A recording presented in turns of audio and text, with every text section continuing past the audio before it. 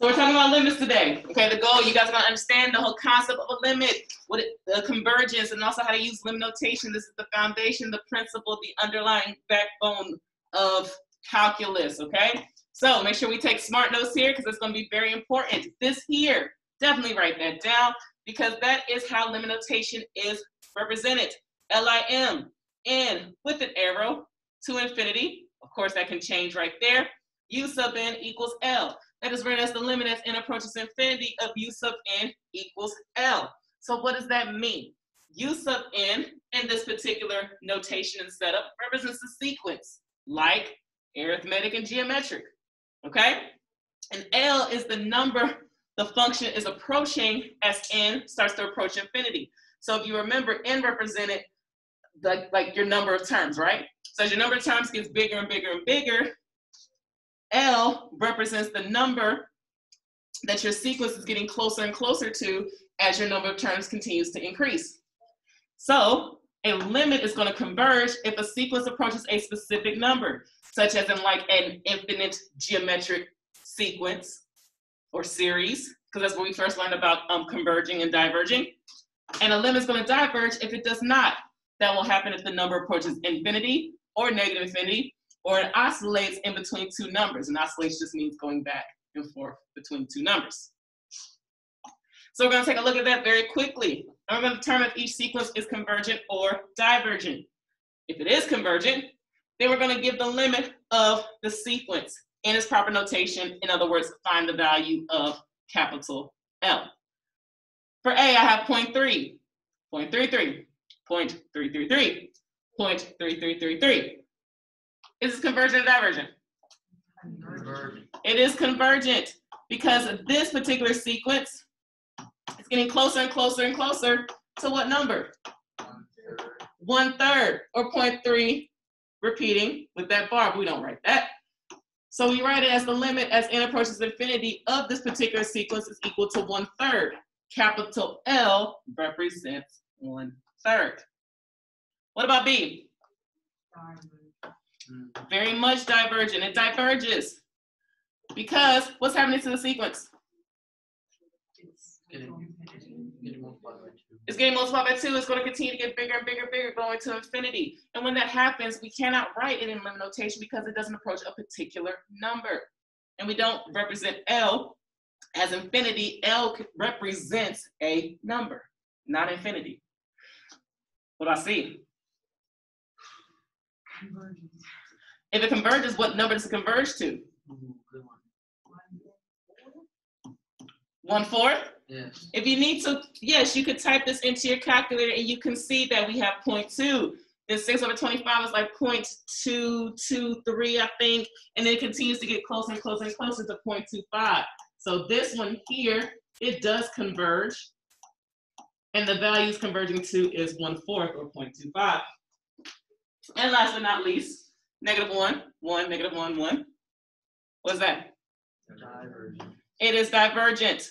Anytime a sequence oscillates in between two numbers, like sine and cosine did, Ooh. it will never it, it actually approach a particular number, just go back and forth between those two numbers.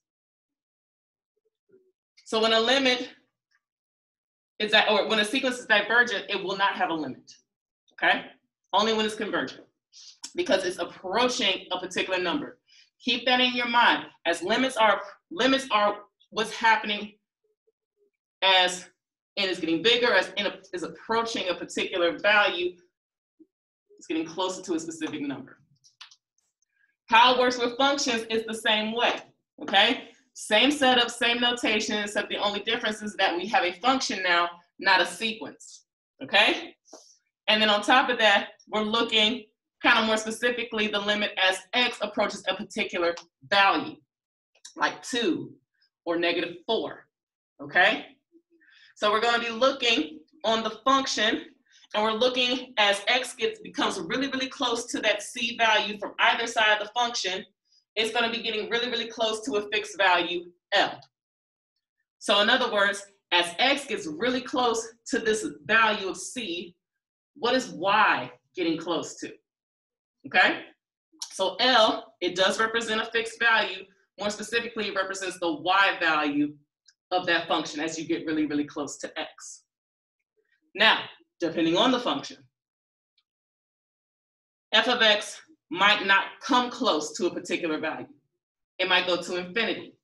Or maybe on one side it'll come to one number, and one side will come to another number. In those types of situations, the limit does not exist. Okay? So even with functions, there's going to be a situation where you're not going to have a limit, and those would be those types of situations. So what we're going to do we're going to look at some examples here. I am going to walk you through how to see this using your calculator, and then I'll show you an algebraic way to do this as well. Is there always an algebraic way to find the limit of a function?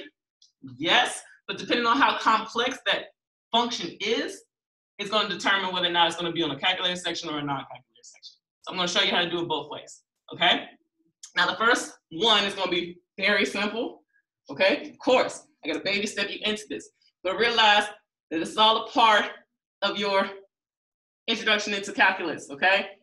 Maybe a little tough, maybe a little bit abstract, but you have to cross those burning sands into calculus land. Here we go. Find the limit or state that the limit does not exist. I have, I think, four functions, five. The other ones are just on other pages. So the first one, I have the limit as x approaches 2 of x squared. What I'm going to do is we're going to look at this on a calculator, okay? So go ahead and get your calculators out. Go into your y equals, and let's graph x squared.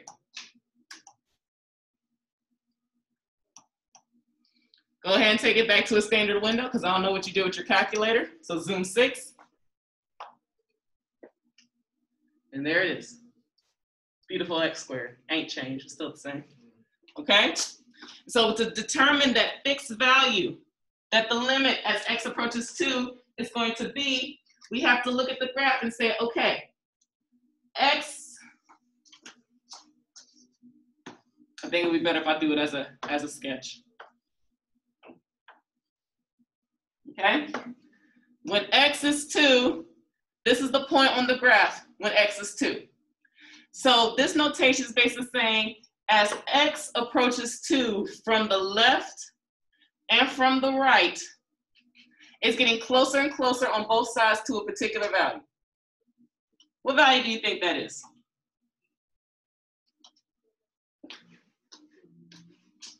If you're unsure, what we can do is we can look at our table. And we can plug in some values that are really, really close to two to see what number is slowly approaching. In order to do this, we gotta change some settings though. So everyone, press the second button, press the window button. Second window takes you to your table setup. Now, right now, it's gonna automatically populate the numbers, but what we wanna do is we wanna go down to independent, we wanna enter and highlight ask. So now when we highlight ask and we go to second graph, second button, in the graph button, we can type in our own X values, such as 1.9. That's pretty close to two, is it not? So it's 1.99. So it's 1.999. So it's 1.9999. When I look, this number looks like it's getting really, really close to what number? Four. That right there, by plugging in 1.9, 1.99, 1.999, that's coming from the left-hand side. This left arrow. If I was coming from the right-hand side, I would type in numbers that are really close to two, such as 2.1, 2.01, 2.001, 2.0001. And we can see even from the other side, it's getting really, really close to four. Since it's approaching the same value from both sides, the limit does exist and the value is gonna equal four.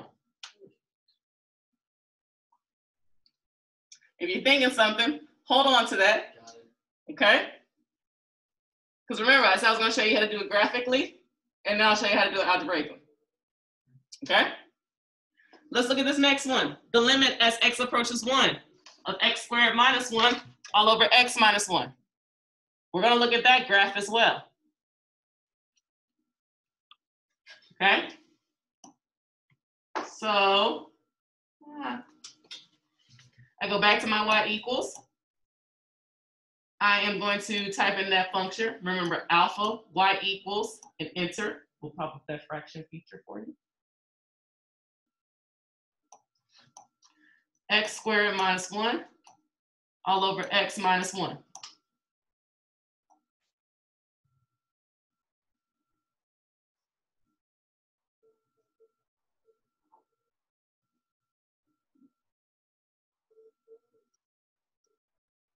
There's that function. So I'm looking at the limit as x approaches 1 on this function. So there's my graph. Uh, did it go through zero, zero? I forgot just that quickly. It does not. It- Was above? Yes. So this is a rough sketch of that graph. I'm trying to figure out, as x approaches one along the graph, that point right there, from the left and the right, what number is it getting really, really close to? So remember, I can go into my calculator, and since I've already changed my setting to ask, I can go back to the table and start asking it some values that are really, really close to one, like 0.9, 0.99, 0.999. What numbers are getting really, really close to? Two. Let's check, let's go the other way. 1.1, 1.01, 1.001. Do you agree that is getting closer to two? So the limit as x approaches one of this function is equal to two.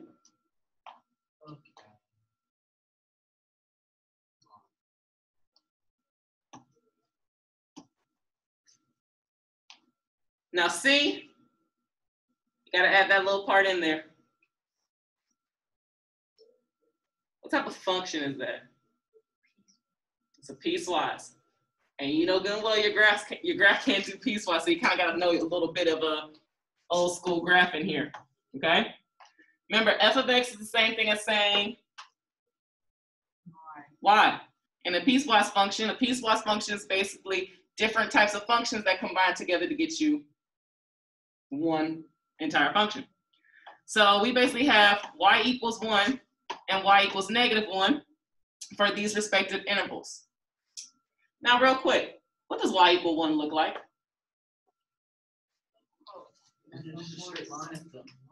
It's a straight line. Give me a little bit more. Kind of straight. Horizontal line that's parallel to the x-axis that crosses the y-axis at one. And because it says for all the x values that are greater than or equal to zero, I'm gonna have a closed circle at one, and it's gonna be a horizontal line that points to the right. This is the top part of the piecewise function, that y equal one. But that second piece, the y equals negative one, well, go ahead, It's different. it's different. Like, what do you mean? What does it look like? well, it's below the x-axis, Below the x-axis at negative one, and it's got an open circle, it has an open circle, and it goes to the left. and it goes to the left. This is what this function looks like. I wouldn't get that particular graph if I tried to graph it. It would give me one horizontal line at one, one horizontal line at negative one. Then we would have to recognize that we have to split it up. But look at the limit. As x approaches zero, from the left and from the right.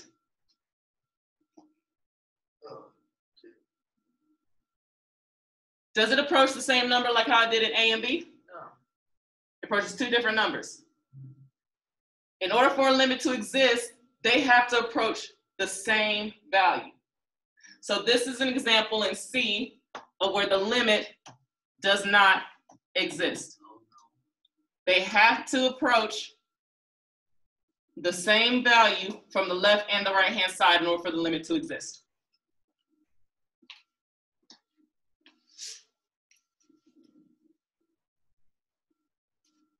And this is how we can find limits algebraically. All right, let's look at this one. It's another piecewise function just to make sure that we understand and also kind of to practice a little bit, okay? I don't know when's the next time you guys will run across another piecewise function, but to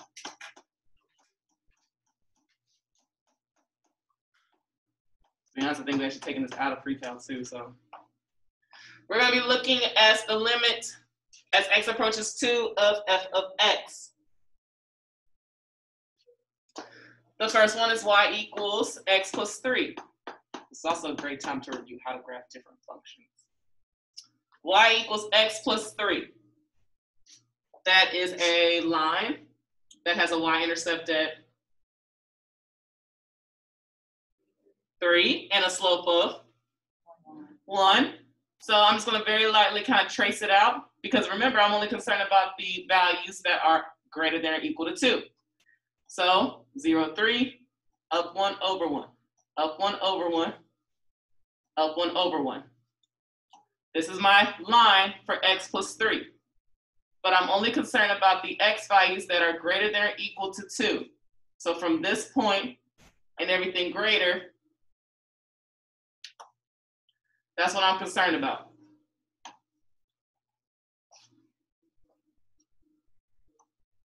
But that other one, y equals negative x minus 2. What's my y-intercept?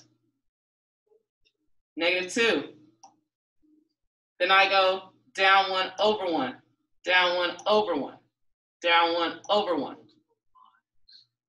I do have multiple y's because here it's an open circle at 2, and it's going down. Oh, No, no, it's, no, never mind. it's actually not going down. It was, It's all the values that are less than two. So I'm actually going this way.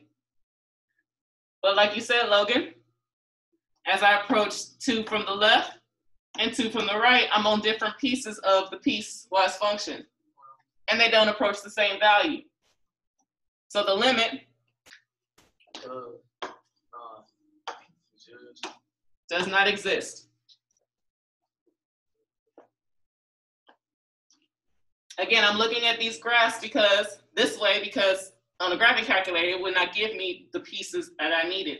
Would actually show two lines that are intersecting with each other. Try this one.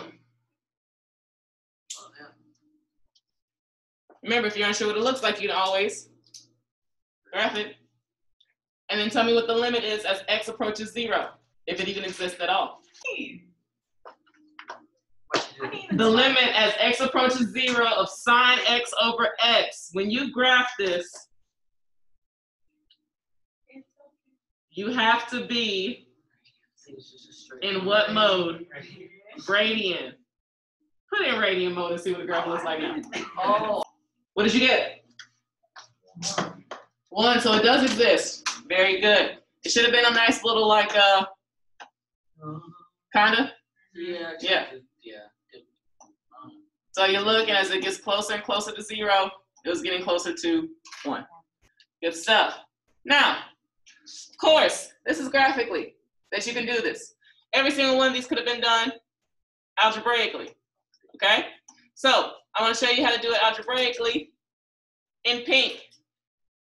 One way that you can determine the limit as x approaches a particular number of a function is simply by plugging it in. Like if I plugged in 2 in for x into this function, what's 2 squared?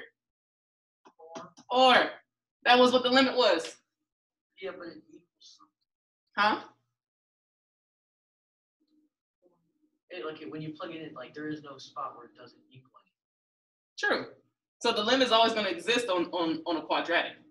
But not every function's like that. But it's, Hmm, No. I don't get it as a limit, just if there is a point there. But that's the thing, when you plug in that particular value, that is the number, that's that fixed value that you're getting closer and closer to as you're getting closer to x. I mean, as, you, as x is getting closer to two. Yeah, I mean, it, it makes sense how you're supposed to get it. I just don't, yeah. Very much so. All right, you can do the same thing here, okay? You can try to plug in the value. But when I plug in one, one squared minus one all over one minus one, what do I get? Zero over zero. When that happens, that doesn't mean it's undefined.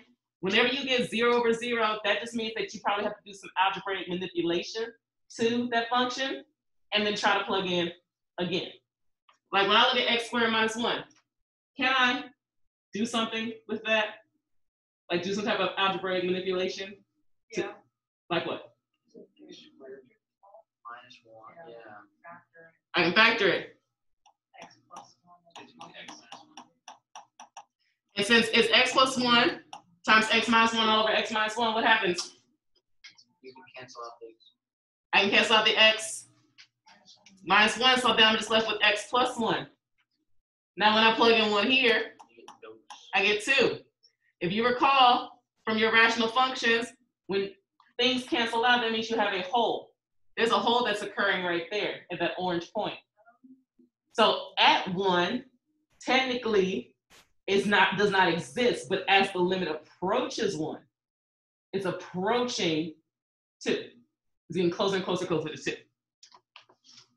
Here, we algebraically, automatically, these weren't going to exist. Because remember, these answers, the four and the two, these are the y values as you're getting closer and closer and closer, or as x is getting closer and closer to a particular number. Here, we're already told what the y values were. Y was equal to one and y was equal to negative one. So automatically, c wasn't going to exist, no way. Look at this one. Two different pieces of this piecewise function. If I plug in two to the first piece, what value is that? Uh, And when I plug in two to this piece, what's that value? Again, they're not the same value. So that we knew that one was not going to exist.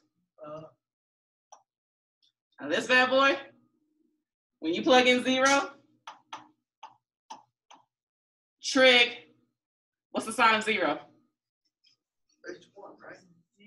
It's zero. What? You have another zero over zero situation. But to simplify this, we ain't there yet. So we'll come back to that. But trust me, you can simplify this so that way you could get one algebraically. But we're not there yet. Uh-huh. So all of these could have been done algebraically. Easiest way, plug in. If you get zero over zero, that means you can simplify it and then try to plug in again. So you can find the limit algebraically or graphically, just depending on if the problem's calculator or not calculator. Questions?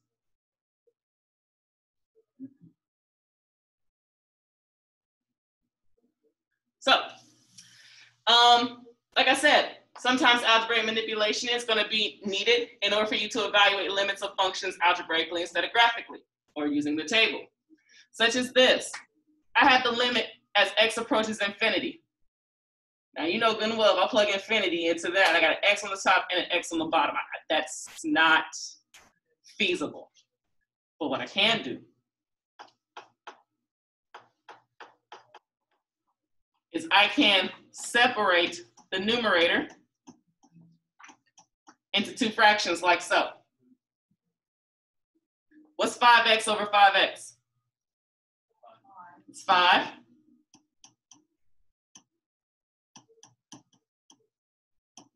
And then 3 over x just going to stay 3 over x. Now, if I plug in infinity, a really, really, really big number into x, what happens to this fraction? Really, really. It's really small. It's close to what number? One. No, not 1. It gets really close to 0. Like 3 over a million is point zero zero zero zero zero zero zero in some number, right? So basically, when you plug in, by doing a little bit of algebraic manipulation, and then when you actually plug in infinity or a really big number, this is basically approaching zero. So five minus zero is Five. So the limit as x approaches infinity of that function is going to be five. That's how you do it algebraically. Graphically, this is a rational function where there is a horizontal asymptote at five. So this graph, as x is approaching infinity, is getting closer and closer and closer to five as x is getting really, really, really big. That's what it looks like visually. Algebraically, this is also how you show that a horizontal asymptote is what it is as well. You use limit notation. What do you mean? you use limit notation to the asymptote? So if you recall back from last year, when I had you guys do rational functions, I never asked you to, sh- to show why the horizontal asymptote was what it was. I, I only said, look at the uh, degrees of the numerator and denominator, and if they're the same, it's the coefficient. Well, the reason why is because of this.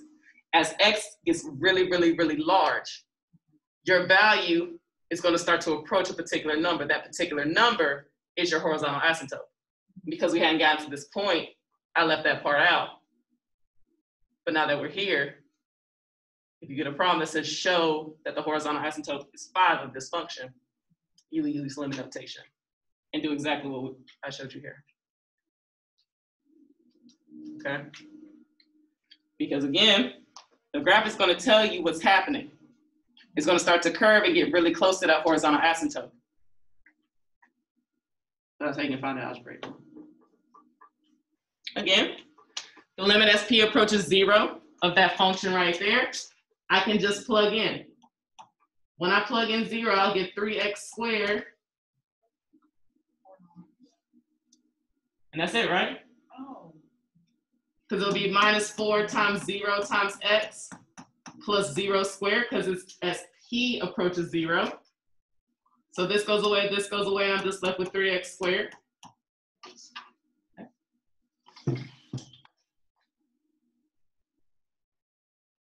What about C? The limit as h approaches zero of all of that. I'm saying, fuck, there's something over zero. It's gonna be something over zero. Well, let's see if I plug in zero for h, that's gonna give me x squared minus six, X squared minus six and then a negative x squared plus six. all over zero. So zero to zero. And whenever you see zero over zero, that means you can Manipulate it. manipulate it. How do I FOIL x plus h squared? X squared plus Two. plus two X H plus two for H squared. Yeah. Minus Six. Then I have a minus x squared plus six all over h.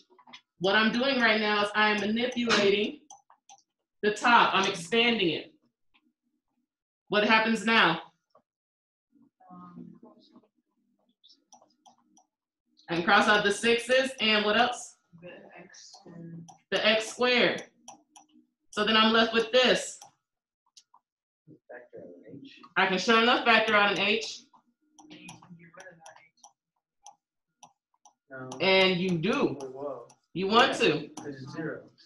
Because right now it's still zero over zero. Oh, So I have the limit as h approaches zero of 2x plus h once I cancel out that h. When I plug in zero now, what do I get? Two X. So the limit as h approaches zero of that entire function is equal to 2x.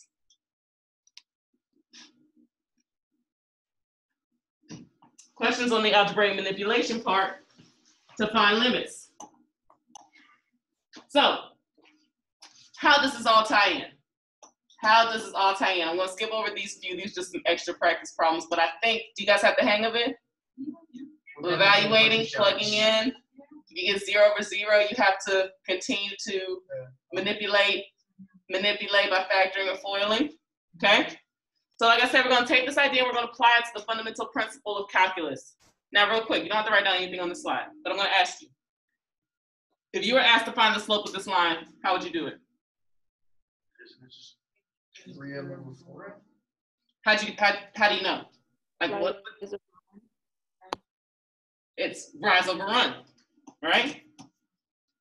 That's what you learned a long time ago. That's what slope is. Yeah.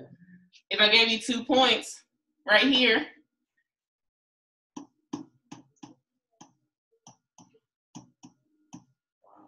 how would you find the slope? Uh, y2 over minus y1 over x2 minus x1. Old school formula slope, right? But to find the slope of a curve, That's the. there's infinitely many of those. Hmm.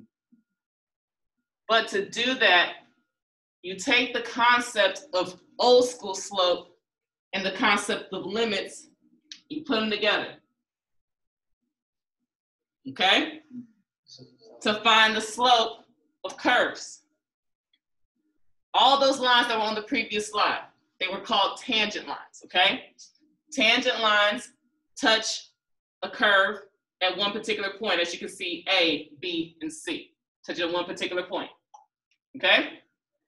By finding the slope of those tangent lines, you are basically finding the slope of the curve at those respective points. There's no way to find the slope, one slope for a curve. Okay? There's infinitely many points on a curve, which means there's infinitely many slopes for a curve. And since we can't really find every single possible slope on a curve, because you know, depending on the function, it could be negative infinity to positive infinity, so it's infinitely many. We can find a rule or an equation that gives us the ability to find the slope at any one of those points. The slope, or the proper IB term, gradient of the tangent line is a measure of how fast y is changing as x changes. So together, slope and limits gives you this formula here. Slope and limits merged together give you that formula that I boxed in pink. And this is called your formal definition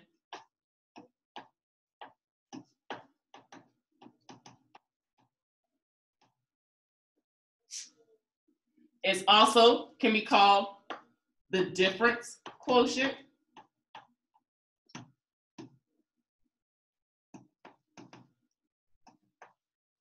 And it's also called the first principle of calculus.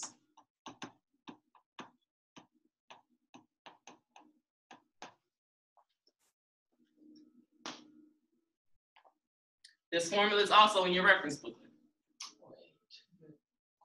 Read right down the- Um, no, no, you don't. Just the one in the pink, but I'm gonna show you how it ties in together. Okay. So what does this mean? This essentially means is that, and, and I want to use the, the, the graphs down at the bottom and the first part, okay? When you have a curve, f of x is the same curve on every single picture, right? A Long time ago, geometry, you were able to find the slope of this line, right? Rise over run, y2, x- y2 minus y1 over x2 minus x1, okay? But on a particular function, this point is x and f of x. This point over here is x plus h, f of x plus h, because I'm, I'm a certain distance away from the original point of x. But as h gets smaller and smaller and smaller, closer to zero, you eventually take a line that's originally a secant and you turn it into a tangent. This formula, this formal definition, this difference quotient, this first principle of calculus allows you to find the slope of this tangent line at this respective point. It helps you find the gradient of this curve at that one particular point. This formula allows you to find the gradient of the tangent line, AKA the gradient of the curve at that particular point. So how do you find the slope of a curve? You use that formula and it will give you a general rule to find the slope at any point along that curve. Let's do that. We're gonna take the concept of a limit and old school slope, merge together to do that here, okay? So what we're gonna do is we're gonna find the rule for f of x equals x squared plus one. Then we're gonna find the exact slope of the curve of that function at the point where x equals zero and x equals one. So to find this rule that will help us find the slope of the curve at any point, we need to apply the limit process. Now I'm gonna write it down again, the formula here, because I don't have the formula on the same piece of paper that you guys do, okay? So the formula is the limit as h approaches zero, f of x plus h minus f of x all over h. Now, very quickly, when you see f of x plus h, what does that mean? It's your y value plus the value of h, right? No, mm. no. It's the y value of x plus h. True. So that means that x plus h becomes, Plug, plug it in. I have to plug it in. It's the same concept. If you saw f of 3, what would you do? Plug in three. Plug in 3 for x. So when you see f of x plus h, that means you plug in x plus h into x of your function. Hmm. God. And that's usually, that part right there is what trips up students from the beginning. They're like, I don't get formal definition. I just want to make sure everybody understands that f of x plus h just means I'm plugging in x plus h in for every x that I see in my function. So I'm going to change colors to make sure everybody understands this. So since it's x squared plus 1, everywhere I see an x, I'm going to put an x plus h. So that becomes x plus h squared plus 1. And that right there in the red represents the part that I've highlighted in red. What's Right. that? Okay, never mind. So again, everywhere I see an x in my function, I'm going to replace it with the x plus h. I still pull down the whole function. Just like here, if it was f of 3, I would plug 3 in for x, and I would still have the square and the minus 1. Same concept. Now I need to subtract f of x. Well, f of x is the original function. So x squared plus one.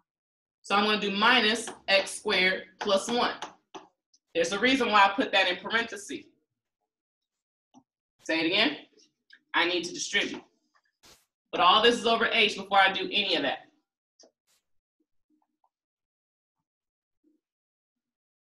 Now, if I try to evaluate the limit at this point, if I plug in 0 for h, I would get 0 over 0. Because my h's will go away, I'll have 0 on the bottom, and then I have x squared plus 1 minus x squared minus 1. Everything would cancel out 0 over 0.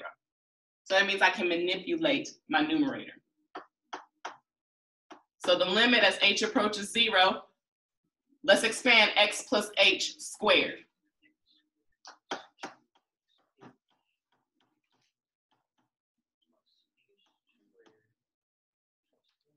And I'm to have that plus 1, Minus x squared distribute that negative.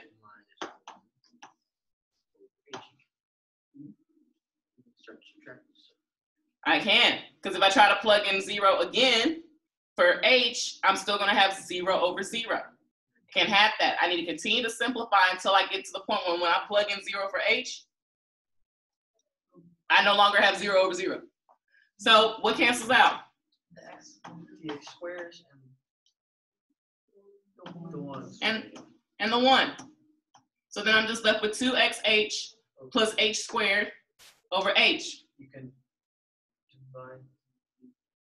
What do you want me to do? Oh, you can split that up into two X H over eight. I mean, you the same thing. Or you factor it out. Uh, And I'm showing the factoring out method just in case you have to show this process. They look specifically for the factoring out of H. That's always a method point in there. So don't don't skip that out. Yes, you can cancel out an H because the H is in every term, but you do that because you can factor out an H. Yeah. Now that I can do that, okay, I'm gonna, mm, I shouldn't, I shouldn't have went that far. I'm sorry. All right, so then I'm gonna swing down here. The limit as h approaches zero is 2x plus h. Now, when I plug in zero for h, Zero, your H my h goes away and I'm left with to X. 2x. So 2x is the rule that will help me find the slope of this particular curve, x squared plus 1, at any point. So you would plug in the zero and one eventually? Yep. So now that I have my rule, I can plug in 0 for x and 1 for x to find the slope of the curve, aka the slope of those tangent lines at those two respective points. So when x equals 1, my slope is 2. And when x equals 0, sorry, I put them backwards, so I wrote 1 first. My slope is 0.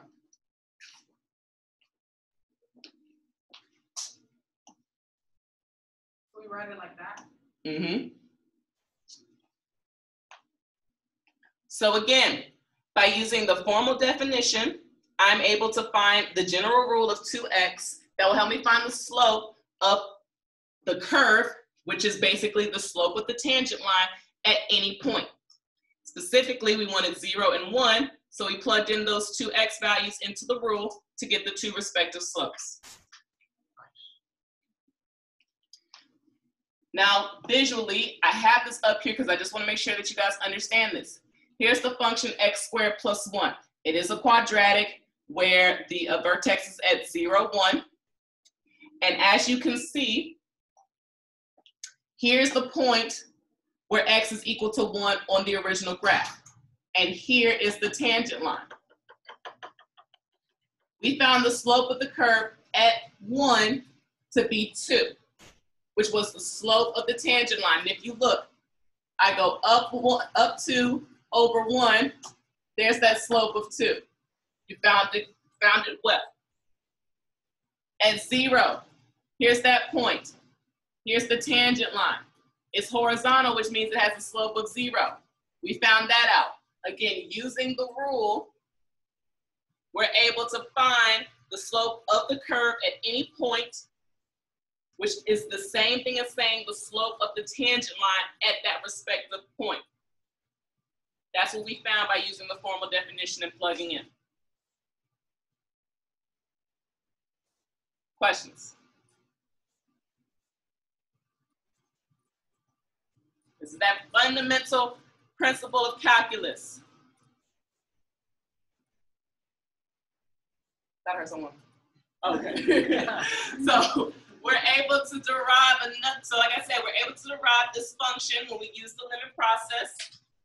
Again, this function will help us find the slope at any point on that function. So when you find that rule, you are finding the slope of the curve at that respective point, AKA you're finding the slope or the gradient of the tangent line. That rule, that derived function that you get when you use the formal definition is called the derivative. Oh, she snuck up on us. Okay? It is called the derivative when you use that formal definition to get that rule. The notation for the derivative, a lot of times you'll see f prime of x. That's how it's read. It's a little apostrophe, not to be, uh, to be confused with complement, because I'm dealing with a function here, not like a set. Was that 2x we got the derivative? Exactly. When we found that 2x in the last problem, we found the derivative. The process of finding the derivative is called differentiation. So if a problem ever says differentiate a function, they want you to find the derivative. So the rule The rule that you come up with is called the derivative. And the derivative is the formula for instantaneous rate of change of a function. Not average rate of change, which is old school slope. Old school slope is average rate of change, but instantaneous rate of change is the derivative.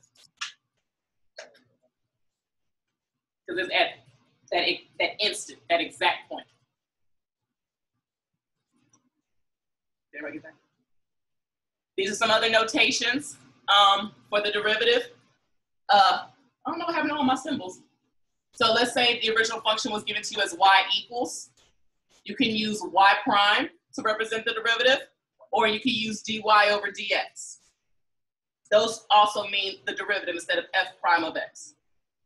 This notation as well could be used. So let's say if you were given f of x equals some function, d over dx of f of x is another notation to represent the derivative. So these are the different ways that you can see the derivative along with f prime of x.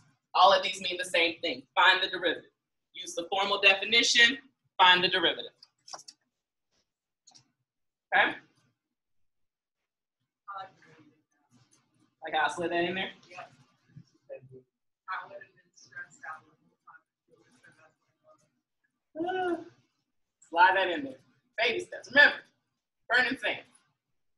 Cactus. So we're gonna do the same thing, just to practice, okay?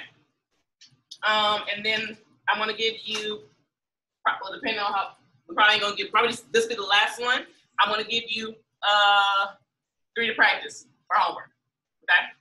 So just using the formal definition so you can get comfortable with it. So we're gonna use the difference quotient, AKA the formal definition, the first principles of calculus. They all mean the same thing. To find the derivative of f of x equals x squared minus x plus two. And then we're gonna find the gradient of the tangent line at x equals one. So remember,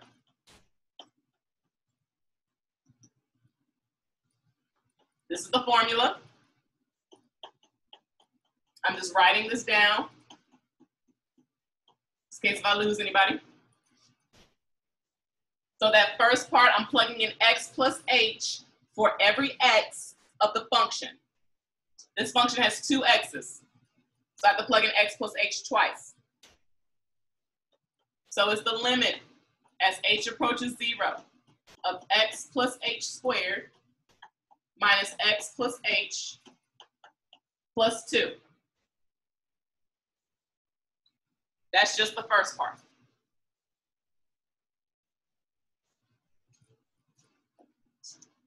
Then I have to subtract my function, just the original function, how it is.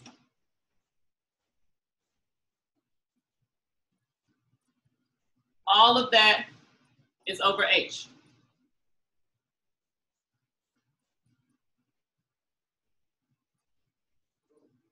Now, of course, we tried to evaluate the limit here, we'll get zero over zero, so we are gonna have to keep going. We already know what x plus h squared is. We did it in the last problem and a few problems a, a couple of slides back.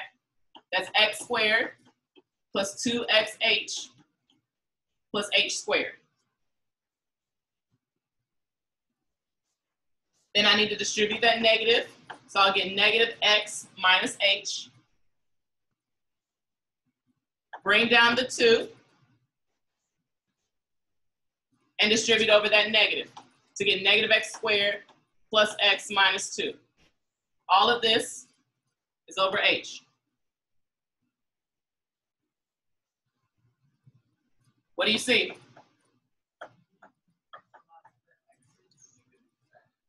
I can cancel out the x squares, I can cancel out the x's, and I can cancel out the, the 2. If you use the formal definition correctly, all of your non-h terms should cancel out. If you notice, once we got to this line the last problem, there were no terms that didn't have an h in it. That should be the case all the time. If you end up with some random constant or a random variable, you messed up somewhere a few steps back, okay? So now that we've done that, every term has an h in common, correct? So I can factor that out. That leaves me with 2x plus h minus 1. Remember, when you take out the full term, there's still that one placeholder there. All over h. what happens? They cancel. So I'm left with the limit as h approaches zero of 2x plus h minus 1. Now, when I plug in 0, do I get 0 over 0 now? I actually get my rule, which is what? 2x minus 1, and then I will put my notation because you just found the derivative by evaluating the limit as h approaches 0 of the simplified form of the function. So that rule, the derivative, will help me find the gradient of any tangent line on that function or the gradient of that curve.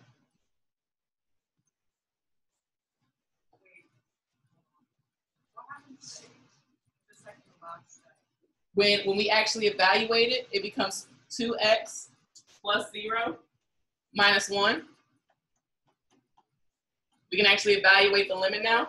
So then the h is gone, and all I'm left with is 2x minus 1. I was thinking about the, um, the x, the x equals one at the top.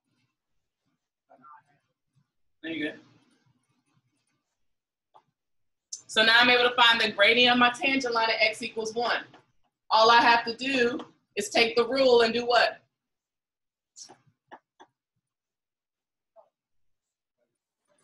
Plug in 1. I just evaluate the derivative when x is 1 to find the slope or the gradient of my tangent line. What's 2, mi- 2 times 1 minus 1? So on this curve of x squared minus x plus 1, on that quadratic, when x is 1, the slope of that tangent line is equal to 1. The gradient, and I keep going back and forth with slope and gradient, so please forgive me. I should use gradient because that's the proper notes, proper terminology.